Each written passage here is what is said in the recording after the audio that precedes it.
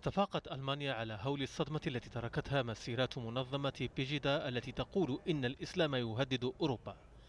عناوين الصحف كلها خصصت لهذه المسيرات التي عرفتها المدن الألمانية. صحيفة بيلد الواسعة الانتشار كتبت في عنوان عريض لا لبيجيدا. فحوى العنوان تبناه خمسون من أبرز الشخصيات الألمانية التي دعت إلى وقف حملة معاداة الأجانب. كاتدرائية مدينة كولون تطفئ الأضواء للتعبير عن رفض أفكار بيجيدا. كان هذا تعبيرا عن رفض المؤسسة الدينية لهذه الأفكار. لكن الإقبال الكبير على مسيرات هذه المنظمة وخاصة في دريسدن شرق البلاد يثير كثيرا من التساؤلات حول التوجه العام في المجتمع الألماني. بعض استطلاعات الرأي تشير إلى أن 30% من الألمان يعتقدون أن الإسلام أصبح له تأثير كبير في المجتمع الألماني وأن هذه المسيرات مبررة. أما قادة تنظيم بيجيدا فيتبنون لغة الضحية. أعتقد أننا نرى اليوم القمع السياسي يعود إلى ألمانيا. إننا نهاجم وننعت بالعنصريين والنازيين من قبل الأحزاب والصحافة لأننا ننتقد غياب سياسة اللجوء وغياب سياسة للتعامل مع الهجرة. أوقفوا أسلمة أوروبا. هذا شعار مكتوب بخط واضح. وهو يلخص سياسة هذه المنظمة التي تقول إن هدفها هو الحفاظ على القيم المسيحية اليهودية للمجتمع الأوروبي. كل المسيرات التي نظمتها بيجيدا وجهت بمسيرات معارضة. أغلب المسيرات المعارضة كانت أكبر من مسيرات بيجيدا.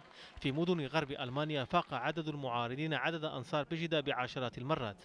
لكن هذا لا يعني أن قدرتها على التعبئة ضعيفة فقد بدأت بمسيرات شارك فيها العشرات قبل ثلاثة أشهر.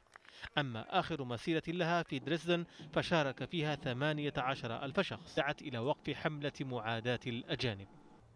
كاتدرائية مدينة كولون تطفئ الأضواء للتعبير عن رفض أفكار بيجيدا.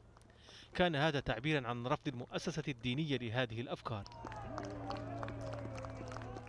لكن الإقبال الكبير على مسيرات هذه المنظمة وخاصة في دريسدن شرق البلاد يثير كثيرا من التساؤلات حول التوجه العام في المجتمع الألماني. بعض استطلاعات الرأي تشير إلى أن 30% من الألمان يعتقدون أن الإسلام أصبح له تأثير كبير في المجتمع الألماني وأن هذه المسيرات مبررة. أما قادة تنظيم بيجيدا فيتبنون لغة الضحية. أعتقد أننا نرى اليوم القمع السياسي يعود إلى ألمانيا. إننا نهاجم وننعت بالعنصريين والنازيين من قبل الأحزاب والصحافة لأننا ننتقد غياب سياسة اللجوء وغياب سياسة للتعامل مع الهجرة. أوقفوا أسلمة أوروبا.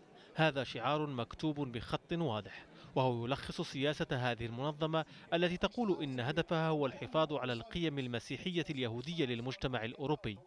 كل المسيرات التي نظمتها بيجيدا وجهت بمسيرات معارضة. أغلب المسيرات المعارضة كانت أكبر من مسيرات بيجيدا. في مدن غرب ألمانيا فاق عدد المعارضين عدد أنصار بيجيدا بعشرات المرات.